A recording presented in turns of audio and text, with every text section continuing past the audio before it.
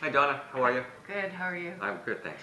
What a treat that we met in the uh, schoolyard the other day. One of the things I love about this neighborhood is the Yeah. surprise meetings you have with people who you instantly sort of feel you know, but you've just met them. It's true.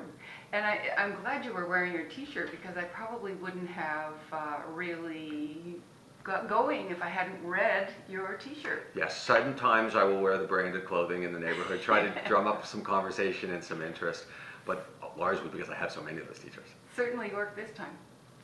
So tell me, what brought you to this neighborhood and what do you see as really terrific about it? We, we love the neighborhood. Um, we looked for two and a half years at a very slow pace before we moved in. Neighborhood feel was very important to us. And when we moved in, we found a house that we liked and could afford. What really caught us was the warmth and the embrace of the people on our street and the streets around us. This is a real community. It is a community for sure. What we discovered quickly was that many people here are lifers. They have been here forever. Their kids were raised here. They went to school here. Um, so the college-age students across the street who sometimes babysat for us, you know, want to know if Mr. C is still teaching at the school around the corner because they had him. And again, we hope to be lifers as well. This is a great, great community.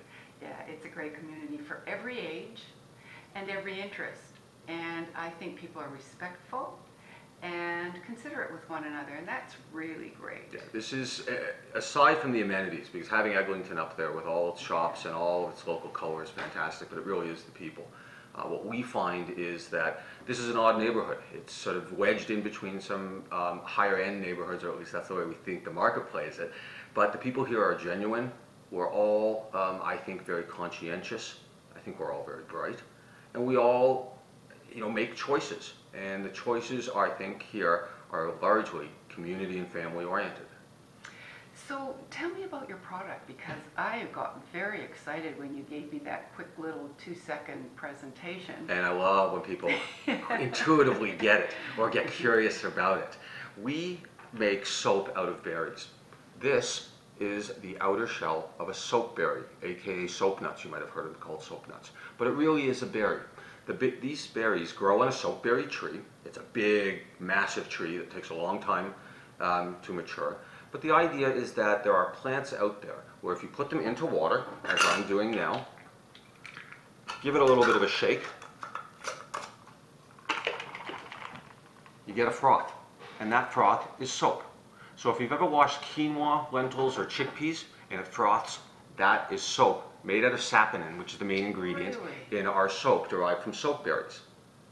So uh, what you're showing me now, is that what's in the small vials? Yes, the ones I showed you. Mm. This is a two milliliter vial of soapberry extract. What we've done with this is boiled down the berries, think soup, but it's a little Yeah. bit more complicated than that.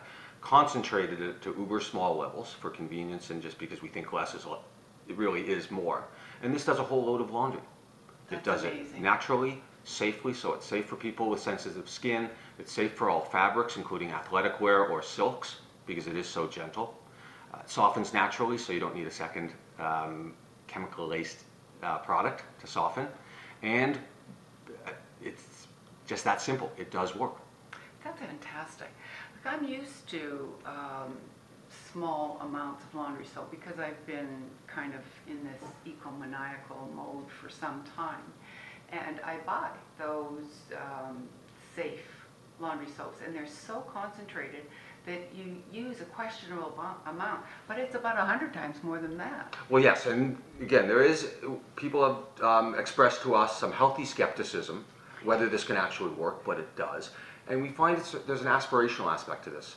For those who understand the product as you do and are intrigued by it, you want this to work. You're overjoyed when it does.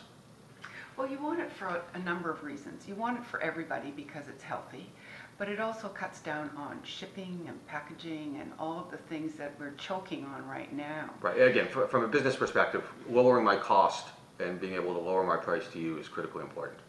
Um, Good for you for doing such a fantastic thing. We're and- really, really glad and proud of this.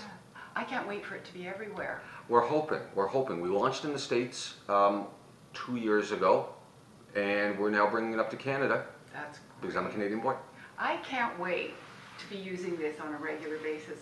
Thanks a lot for taking the time, Jamie. Really good to meet you here in your home. Wonderful to meet you too, and again. I, it was a wonderful surprise meeting you in the park. I'll see you on the Beltline. You will. Bye.